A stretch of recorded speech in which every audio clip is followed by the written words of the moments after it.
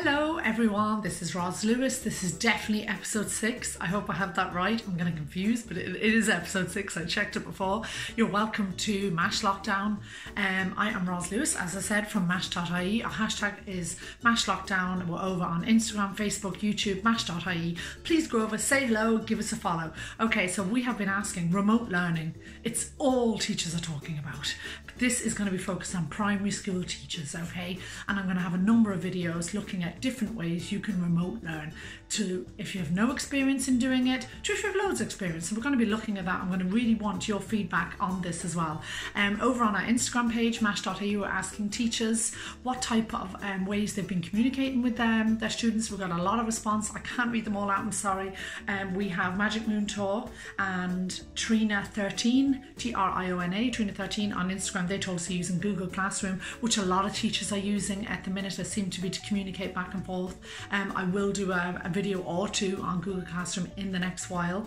Um, Martin Franklin, he said he sent work when the closure was announced. They sent work home and so forth, and that was it until the 29th. Again, a lot of teachers doing that too, and that's a very valid and effective way as well to assign work remotely. Playful Classroom is using Aladdin. Aladdin Connect is a communication tool so they can communicate with parents, families, and children about work they have to do, which is great as well. Thank you so much for all of you for giving me all your ideas and please keep sending them on. I'll be looking for more, I'll be harassing you. Um, I want to talk today about Class Dojo.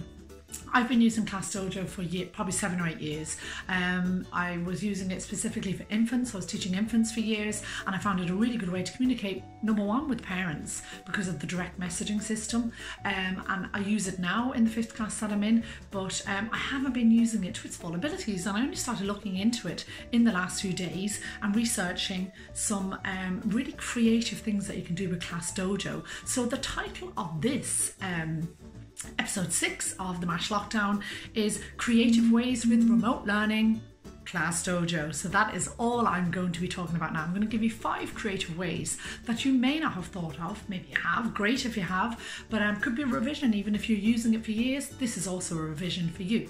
The first one is Class Dojo is easy to use and to set up. It's easy, particularly now, in terms of a transition tool. If you're not using any form of interaction and uploading work and using remote learning, Class Dojo is so easy to set up and it's so easy to transition from not using anything to using Class Dojo. So it's user friendly, it's child friendly, family friendly. It's very easy to navigate without you having to explain um, how parents are going to use this. So that's a really important thing. Even more importantly, Class Dojo have a list of, I'm not being paid to do this um, uh, uh, little video by the way as well um, Class Dojo haven't paid me anything. So Class Dojo also have a really good article on a step-by-step -step guide for school leaders. So principals or teachers want to set it up, they run through the whole steps and they are super, super easy. So well done to Class Dojo. Go and check it out. I will put all the links in the usual places for that. The second thing it, it really does, which I didn't realize and haven't been using, and I say you'll be using it now, is you have the capability to upload eight minutes worth of video. So you could deliver a little topic on maths. You might explain this is how maths is done. You can also use video, eight minute video clips to show the work that you're doing. You could have a piece of paper. If you're not fond of going on live video, which some teachers are not, that's fine. If you don't want them really to see your face or your house for privacy reasons, I understand that. So you can use a piece of paper and you can be writing out the maths questions on it and explain it as you go. You can also annotate, they have a lovely drawing tool and you can just upload that and children can watch it as much as they want. Sometimes a renaming, multiplication, anything like that. I just think that's it's an amazing tool to push it out there to families and children. Number three, the interesting thing is that any messages that you put up, it automatically translates them into 35 different languages. So if you have Lithuanian, Polish, Brazilian, French, Italian, and whatever, you know, the, the parents' first language is, they can access the message straight away. So there's no communication issues there. I think that's really, really, really valuable too, is going to be valuable too. The fourth um, creative thing that Class Dojo do, and they do lots of creative things, but the fourth most one is you have a class story that's for the teacher, but you also have a school story.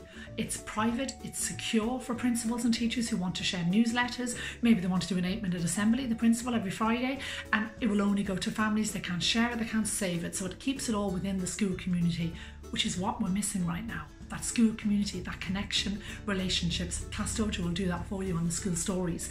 And the fifth brilliant thing they do, and they have been doing, is portfolios. a child can you can assign them a portfolio you can assign them work they can upload to the portfolio and really importantly because I suppose people are wondering how are we going to assess our children's work? At the minute I'm not sure if it's possible to assess 30 children's work individually, okay? Probably what we're going to do is we're using this portfolio tool. So if a child sends you an essay they've written or if they send you a video they've made of a multiplication sum, you can like that. Just simply like it. That's feedback that says well done. Mm-hmm. Or you can give a short comment underneath, which is very useful too. So the ability for teachers to give feedback instantaneously if they want or at set times during the day is there as an option for teachers. They have videos that give step by step basically how are you going to set up remote learning?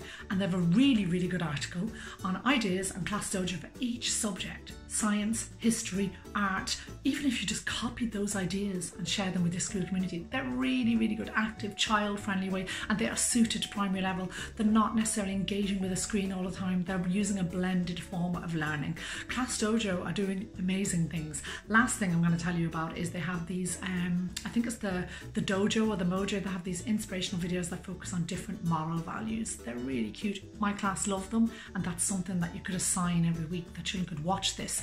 They also have a little pack, um, creative writing and discussion points for the teacher to use from those videos. So again, it's just super easy. Like they've done it all for you. It's just, it's pretty impressive. Listen, I'm going to leave it there. Um, I think you'll agree. I'm excited about Class Dojo. I was excited before, but now I'm really excited what we can do with it with remote learning. I think our children our students, our pupils, our families are going to love it. Um, and I will talk further about all these sorts of tools that we can use. But for now, that is five, possibly six, I think I did, creative ways with Class Dojo that you may not have heard of. Thanks a million for listening to me. This is Roz Lewis, mash.ie. Follow our hashtag, mash lockdown. Go onto our Instagram page. Just say hello. I hope you're well. Stay safe. Take it easy.